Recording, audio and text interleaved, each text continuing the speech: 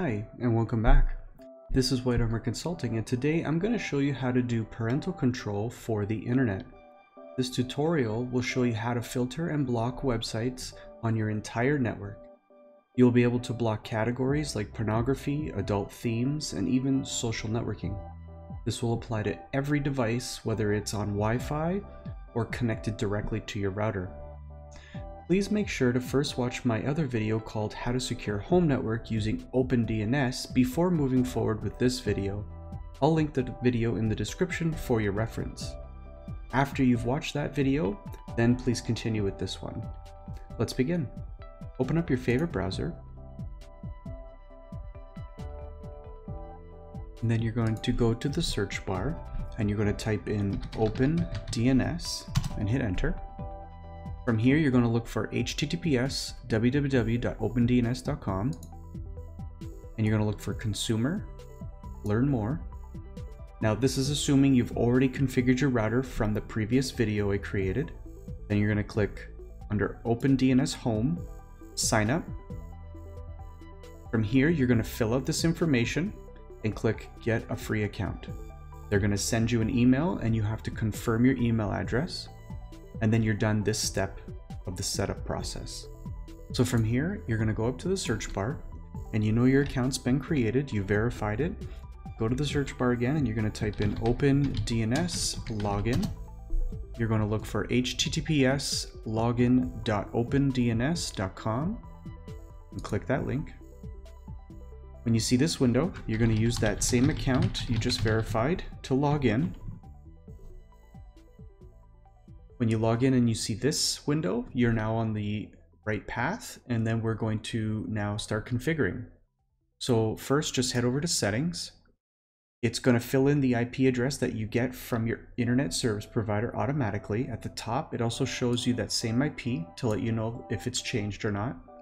I'm going to show you a little bit later in the video what happens, um, uh, what you can do to make sure that if this IP does change, because it will, if you unless you have a static IP, um, you can run a program that will update it automatically. But for now, we're just going to add this network.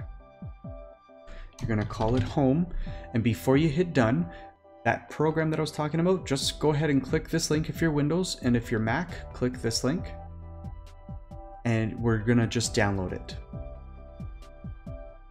Uh, and I'll show you how to use it at the end of the video. So for now, just type in home, download that program, make sure it says yes, it's dynamic, and click done. When you see this window, you've now successfully configured your network to work with OpenDNS, and then you can now set categories and web pages to be blocked, or even allowed. So just go ahead and click select a network, click the IP address that is yours. From here, I'm going to go through each um, section on the left, and then I'm going to also show you how to customize, and what the low, moderate, and high actually mean. So for now, we're just going to go um, through the different sections, and then I'm going to come back to web content filtering at the end. So first, go to security, make sure malware and botnet protections enabled, phishing protection is enabled, and also suspicious responses, make sure that's enabled, and click apply. Go to customization. You don't need to do anything here unless when people get blocked, um, from your categories, you can then change the block page to say either an email address that they can contact or a phone number that they can contact. If you're running an Airbnb and you provide internet and you don't want them going over the bandwidth, you can put um, some information here if you want them to contact you um, in the block page. If you don't want anything, you just want a normal uh, OpenDNS block page, which I'll show you what that looks like. You just leave it as no custom, no custom, and hit apply.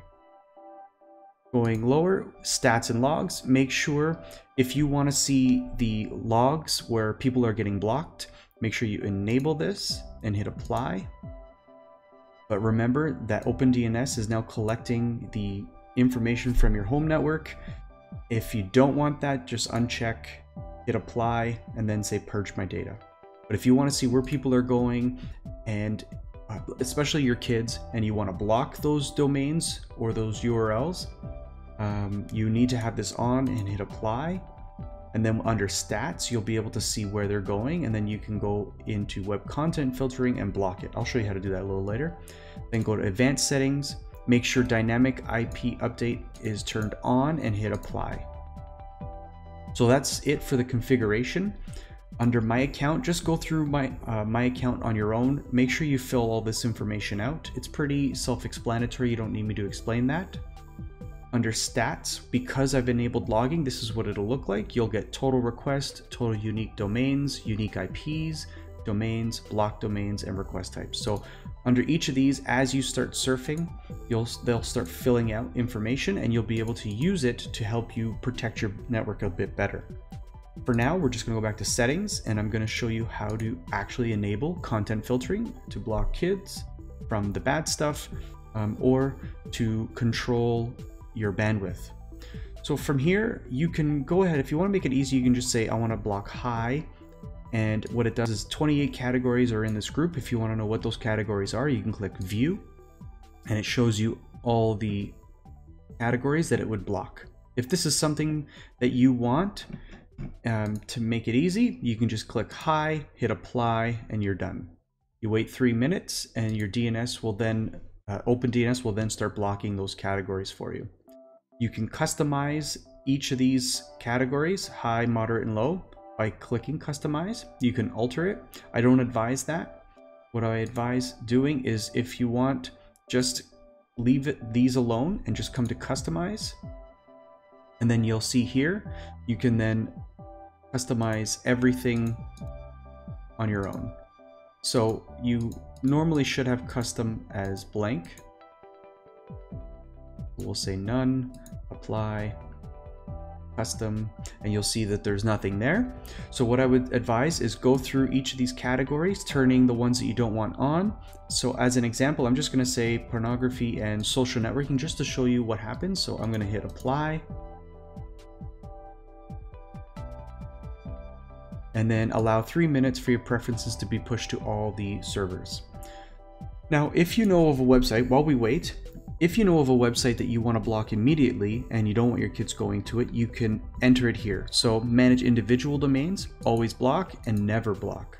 So if you want your kids to always be able to get to, I'm just going to use this as an example, CNN.com, you would say never block CNN.com, add domain, and then that will never be blocked, even if you have the categories blocked. If on the other hand, you want to say always block, let's say youtube.com, what'll happen is when you click add domain, it'll give you two options. So you can block it two different ways. You can block just youtube.com, the individual domain, or I'd rather block categories of websites that include youtube.com. So you can click this and there's video sharing. So that tells you that that's the category if you want to block YouTube. If you want just this website because you know it's bad and you don't want your kids going there or you don't want uh, people streaming, you can just click youtube.com, confirm it, and now youtube.com is always blocked. So in three minutes, if I try to go to youtube.com, it should be denied.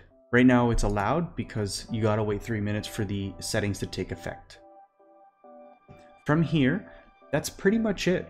Um, go through the categories, wait three minutes and then make sure that they're blocked. If it doesn't um, work in three minutes, just wait a little bit longer. Sometimes it takes a bit longer for the categories to be blocked.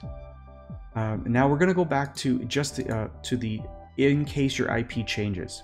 So that program I had you download, so just go to where you downloaded the file, open OpenDNS-Updater, and you're going to right click and run as administrator and put in your administrator password and install the program.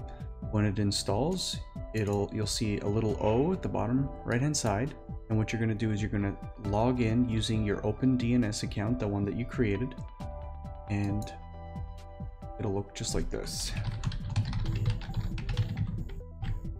And you'll sign in and then it will update. You can say change network, but because we only have one, it'll show home as home and then the IP. And then basically this will, this having this program running, it will make sure that this IP is always kept up to date.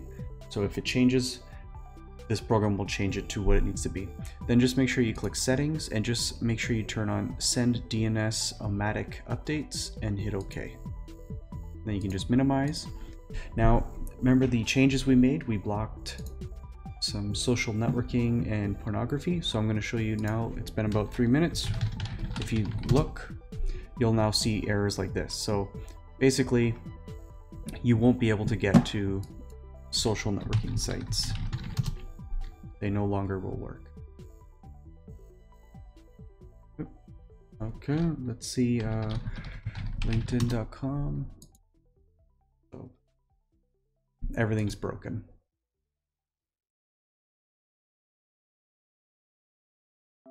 See? And there's even a block page if you try to go to it.